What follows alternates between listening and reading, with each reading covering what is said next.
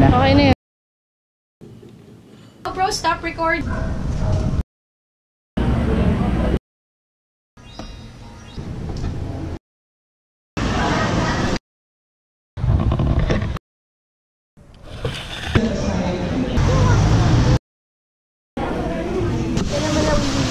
You can always.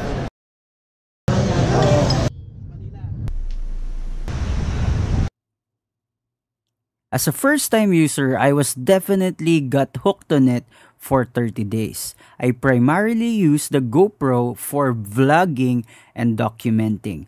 My experience may not be accurate, but all I can say, the GoPro Hero 5 definitely does the job. It has a quality voice and sound recording. Good morning everyone. It's October 16. It's 10:30 a.m.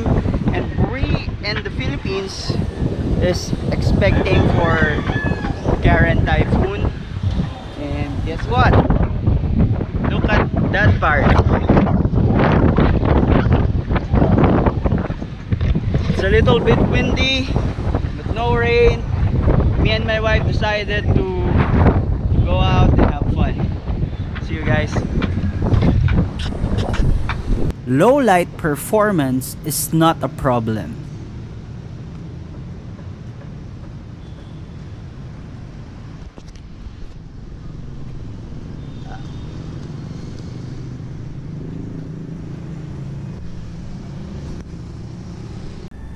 The image stabilization is outstanding for this kind of gear.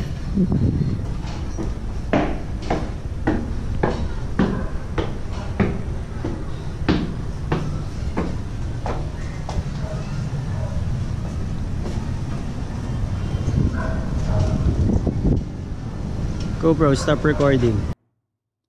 Here are some minor issues that won't affect the overall performance of the Hero 5. Number 1, the SD card error. After reformatting it on my laptop, an SD card error prompt flashes on the screen, delaying the shot, and I need to start recording again. Number 2, battery life. For casual use, the GoPro can last a day. However, if you are a time-lapse and burst shot enthusiast, it can only last for 3 hours. Still, it depends on how long you will use it.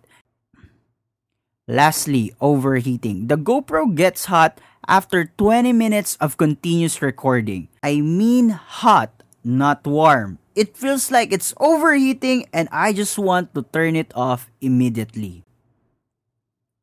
These are just minor issues that won't affect the overall performance of the Hero 5.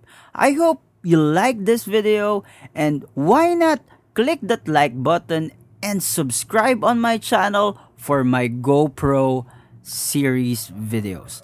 See you again on another video.